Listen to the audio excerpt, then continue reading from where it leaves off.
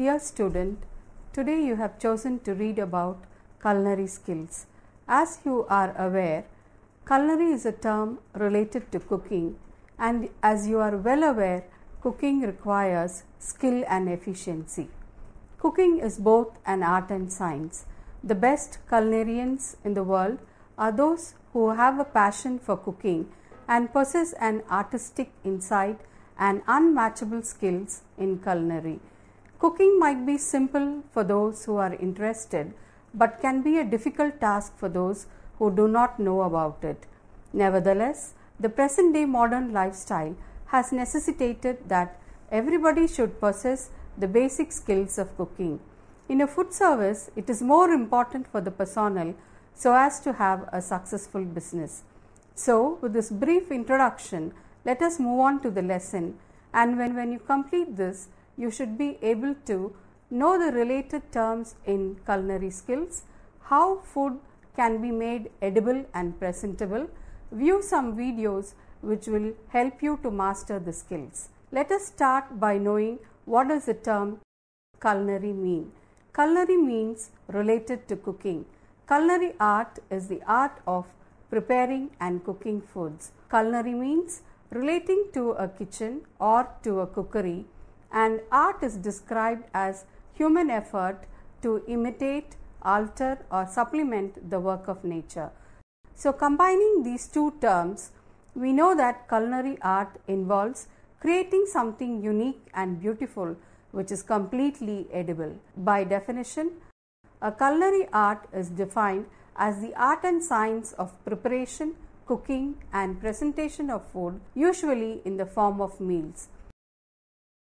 Culinary skill is the skill an individual has for cooking, and culinary artists are responsible for skillfully preparing meals that are as pleasing to the palate as to the eye. The history of culinary art is stated to be very old, starting from 1553 to 1610, when Henry IV ruled, during which time guilds were responsible for preparing foods. A guild is an association of artisans or merchants who control the practice of a craft in a particular town, and such artisans were involved in cooking. The dramatic growth of culinary arts was seen during the Industrial Revolution, that is, from 1760 to 1840, when food service institutions grew to great heights based on the social and economic changes. Antonin Carême was a chef who specialized in grand cuisine. This was an elaborate style of cooking that focused on making food look and taste incredible. From then on, culinary arts have grown globally in a tremendous way. Now, let us see why is culinary skill important for food production. Well, food needs to be cooked most of the time and even if it is eaten raw as in the case of fruits and certain vegetables, it needs to be presented in an appealing way and hence culinary skills are needed. Culinary skills improve the taste and food quality. Cooking improves natural flavor and texture of food. For example, roasting of groundnuts or coffee beans, frying onions and papads improves the flavor of food. Secondly, it aids in destruction of microorganisms. Harmful microorganisms in food are destroyed at a certain temperature for a certain length of time. For example, boiling milk or steaming rice or vegetables. Cooking improves digestibility.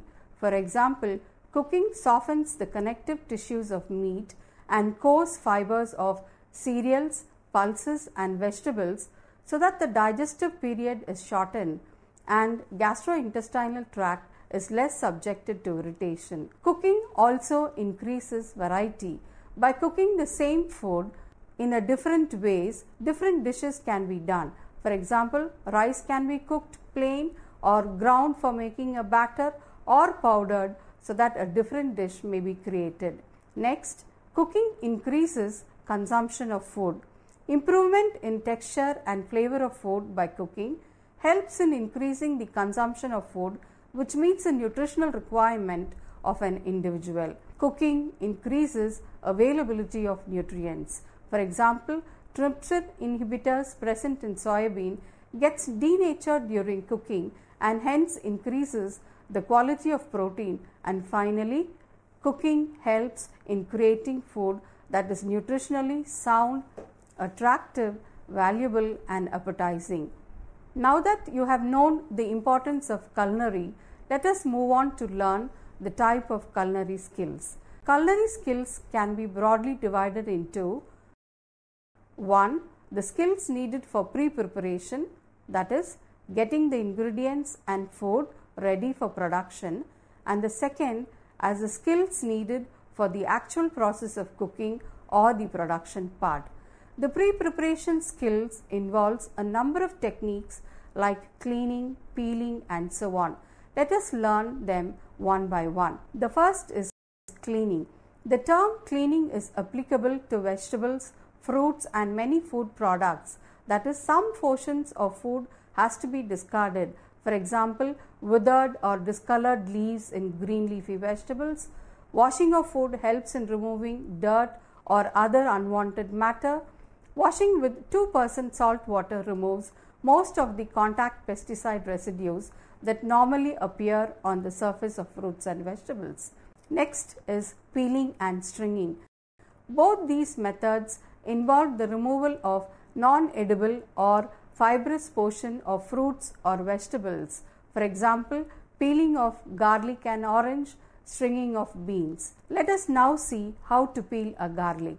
As you watch in this video, it is very easy to peel a garlic pod without getting the garlic smell onto your fingers. Smack the garlic pod with the palm of your hand, applying a little pressure so that the individual pods separate out. Put them in a bowl closed tightly with another and shake them well so that the peel comes off. This technique is alright when one or two garlic pods are used, but for quantity production, the following technique can be followed. Smash apart the garlic, that is, by placing the head of the garlic on the countertop and smash rapidly downward with the heel of your hand. This will separate the head into individual cloves. Place the flat of a wide knife blade over a single clove and smack the knife blade firmly with the heel of your hand and the clove will be slightly smashed and easily separated from its skin. Next, let us see how to peel an orange. Insert the pointed tip of the knife into the skin of the orange at the top. Make a slice across the top of the orange to get started. Then continue by rotating the orange in your hand while you use the knife to cut off the peel in one continuous motion. Continue peeling the orange in a circular motion. The knife should be facing towards you while you peel in a steady controlled manner with a slight sawing motion. Oranges can be peeled and still retain the natural look as you see here. Use a sharp knife to cut the skin into two halves and use the stem of a spoon to cut through it. Remove the inner skin using a knife.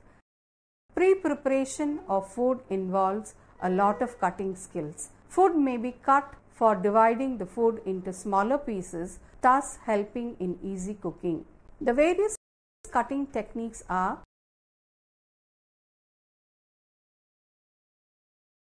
slicing, shredding, julienne, mincing, grating and dicing. Let us first see what is slicing. Slicing is the cutting of food into thin, relatively broad slices. In fact, it really is the first cutting technique that we all learn when we first use a knife. Sliced meats, vegetables and fruits are used in many dishes.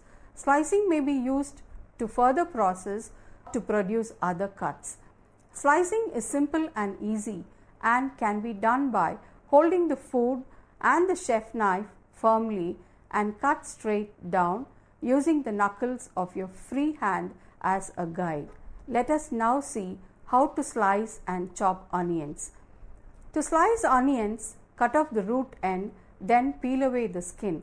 Slice in whole round slices and separate them into rings or else cut the onion into half first and then slice into half moon shapes. To chop small onions, leave the root intact, then peel away the skin from the top end. Now cut the onion in half and place each half on flat surface round side up. Next, make cuts vertically from the root end but leaving the root intact to hold it together. Then make horizontal cuts across the vertical cuts while you hold on to the roots end firmly. The last cut will be the little root bit and this can be discarded. Rough chopping can also be done, making about 3 cuts vertically across each onion and then 3 horizontally. Now let us see what is shredding. Shredding means to cut food into thin slices or pieces using a sharp knife, food processor or a grater. Cabbage can be shredded. As you see in this video, use a slicing technique to stack a few slices cutting straight down through the stack to create sticks. For matchstick julienne, start with 1 by 8 inch slices and cut them into 1 by 8 inch sticks. To shred food into fine slivers, begin by cutting thin slices, then cut them across in the same way to create a thin strip. Now we move on to our third cutting technology, julienne or allumette. What is julienne? Julienne is a culinary knife cut in which the food item is cut into long thin strips similar to matchsticks. Common items to be julienne are carrots, celery or potatoes and potatoes which we use for french fries.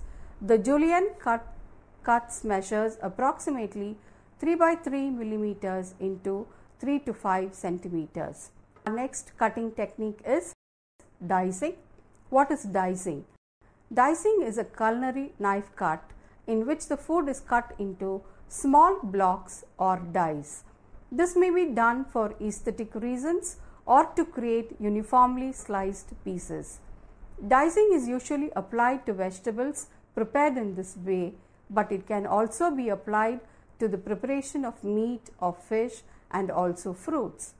Line sticks up perpendicular to the blade and slice straight down across them, creating cubes. We now move on to the next technique, mincing. What is mincing? Mincing is a food preparation technique in which food ingredients are finely divided into uniformed pieces. Minced food is in smaller pieces than diced or chopped foods and is often prepared with a chef's knife or food processor or in the case of meat by a specialized meat grinder. The technique goes like this. Start by cutting the ingredient into thin strips and then dice the strips. Hold the knife handle in one hand and with the other hold down the tip of the blunt edge of the blade. Using the tip as a pivot, raise and lower the blade in a chopping motion, moving it from side to side to mince everything evenly. Scoop up minced ingredients occasionally, flip them over, and keep chopping to ensure mincing. Now, the following two cuts which I am going to tell is new and it's called as roll cutting. What is roll cutting? Roll cutting technique is used for long vegetables like carrots or zucchini. It makes attractive chunks and exposes more of the surface area of the vegetable. Hold the blade perpendicular to the board and cut straight down on the diagonal. Then roll the vegetable a quarter turn and cut straight down again at the same diagonal angle. Continue rolling and cutting alternately in this way all along the length of the vegetable. Now parallel cutting. What is parallel cutting? This technique is used to cut broad thin slices of meat or vegetables. As you see in this video, use a chopping board and make thin slices of meat or vegetables. Lay the food closed to the edge of the board with the fingers of your free hand flat on top of it. Angle the chef's knife so that it's almost parallel to the board, slanting slightly downwards. Move it slowly and carefully back and forth to slice the food, paying close attention to avoid cutting your fingers. Now we go on to the next technique which is used in pre-preparation very often which is crushing. What is crushing? This technique is used to crush ginger or garlic. To crush ginger or garlic, place it near the edge of the cutting board, lay the knife blade flat over it with the blade facing away from you and with the heel of your free hand give the side of the blade a good whack being careful to avoid the edge of the blade. Tenderizing is a pre-preparation technique. What is tenderizing? Tenderizing is a technique for breaking down collagens in meat to make it more palatable and tender. There are a number of ways to tenderize meat, namely mechanical tenderization, such as pounding or piercing. The tenderization that occurs through cooking is as in braising the food. To do tenderizing of meat, use the blunt edge of the chef's knife to tenderize meat by pounding it in crisscross pattern. Or it can be done by turning the blade on its side and slapping the surface of the meat. This is tenderizing and it makes the meat tender. Now let us move on to see how vegetables can be diced. Vegetables can be diced by cleaning the first the chopping board and knife, peel the skin of the vegetable if necessary and discard it. For round vegetables like carrots and potatoes, cut in half lengthwise and lay cut side down on the cutting board. This will keep the vegetable from rolling. Cut the vegetable lengthwise into even slices and stack the slices, cut them into long sticks.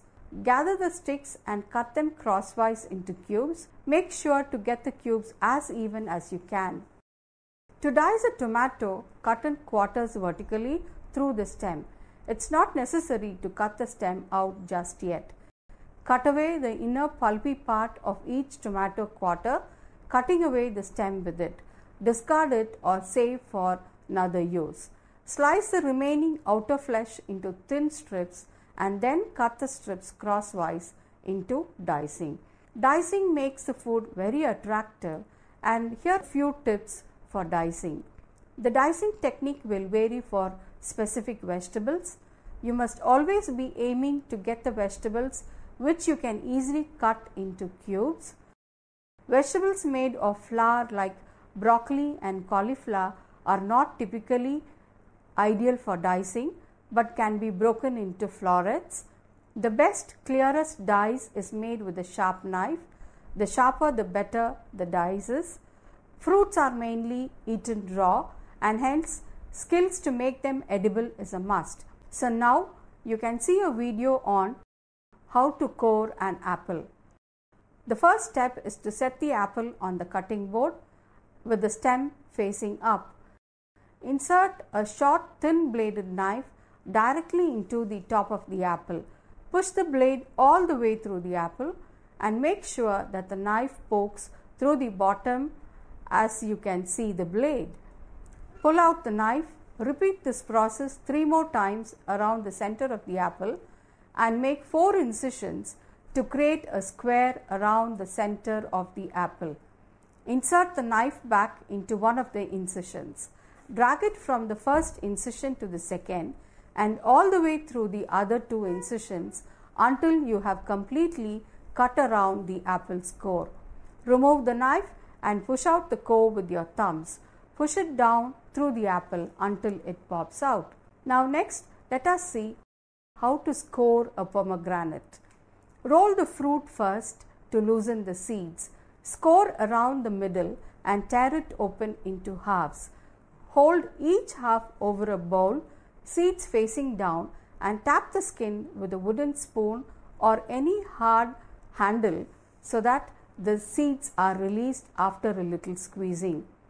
So far, you have seen the skills needed for cutting fruits and vegetables.